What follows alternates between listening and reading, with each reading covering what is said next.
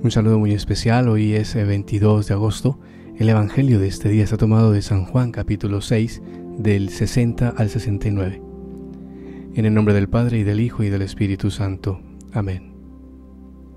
Muchos de sus discípulos al oírle dijeron, es duro este lenguaje, ¿quién puede escucharlo?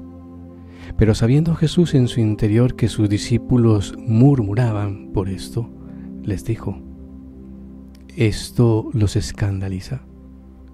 Y cuando vean al Hijo del Hombre subir a donde estaba antes, el Espíritu es el que da vida, la carne no sirve para nada.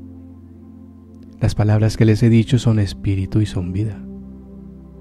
Pero hay entre ustedes algunos que no creen, porque Jesús sabía desde el principio quiénes eran los que no creían y quién era el que lo iba a entregar y decía, Por esto les he dicho que nadie puede venir a mí si no se lo concede el Padre.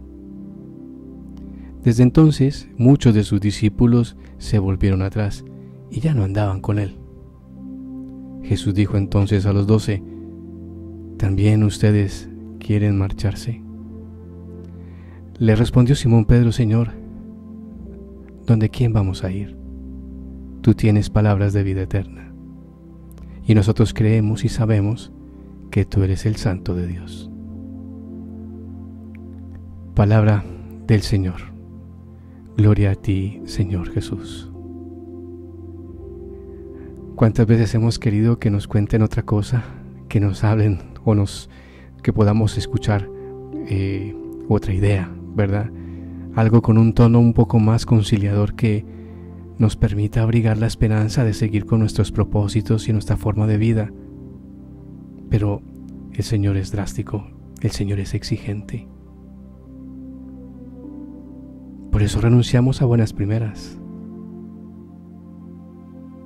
No podemos fingir o pretender seguir coqueteando con este mundo, con este mal, con este vicio,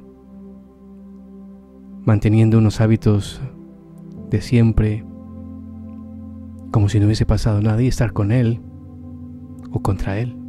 Así de claro, así definitivo. El Señor no es conciliador ni contemplativo a este respecto. El Señor exige.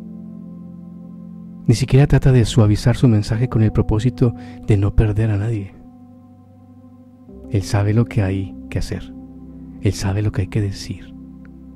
Él sabe qué hay que decidir.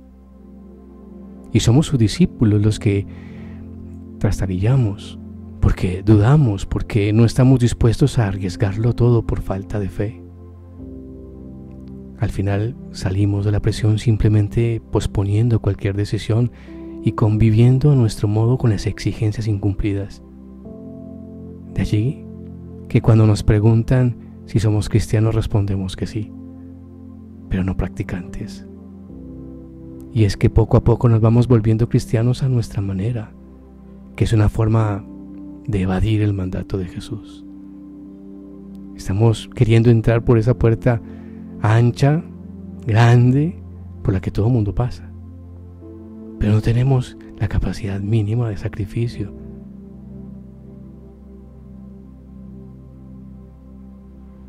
Hoy Pongámonos delante del Señor, porque es el Espíritu el que da vida. La carne no sirve para nada. Y tengamos en cuenta que el Señor nos dice que las palabras que nos ha dicho son espíritu y son vida.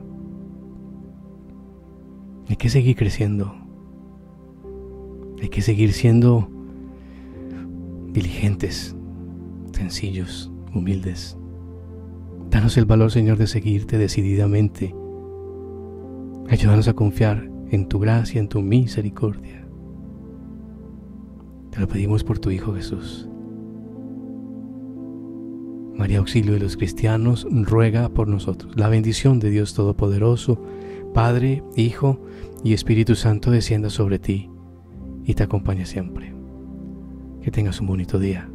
Un abrazo.